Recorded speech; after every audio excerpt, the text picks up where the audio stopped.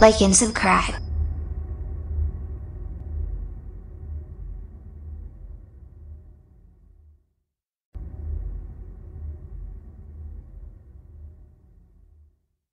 That's right, this is a special Leonardo toy. Watch, push his head down, we squeeze, and whoa, here it comes.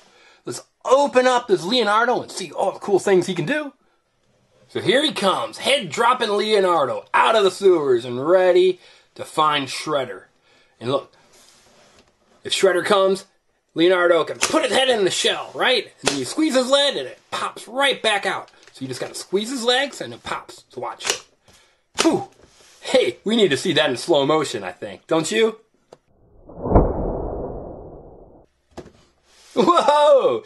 That was really cool. But you know what?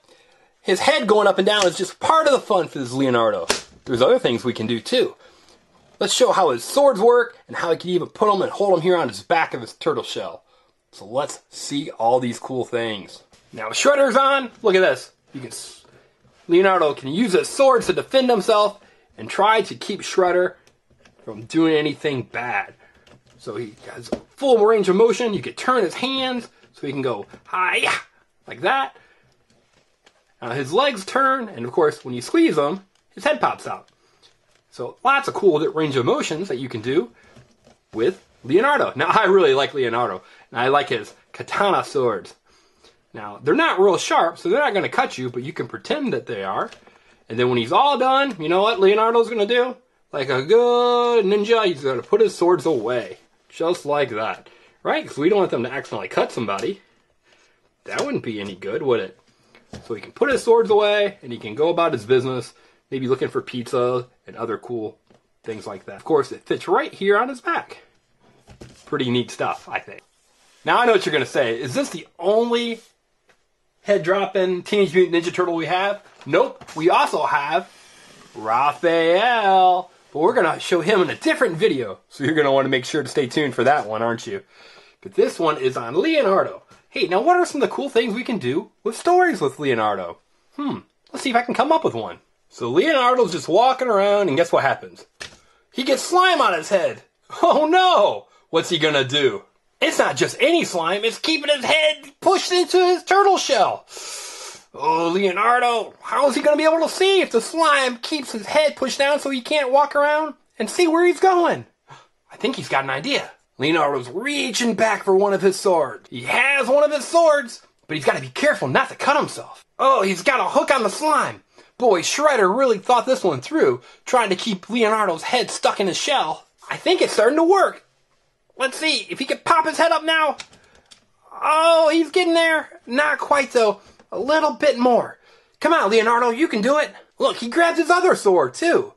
Hmm, I think he's got a plan. Finally, he got his head out of his shell, but he's still got slime all over him.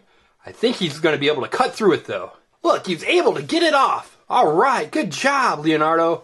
Whew, I thought Shredder was going to get you trapped inside that slime. But he was no match for you, was he? Leonardo's going to take and play a trick on Donatello or Raphael and get them all covered in slime. Hey, I think that's going to be pretty funny. What do you think?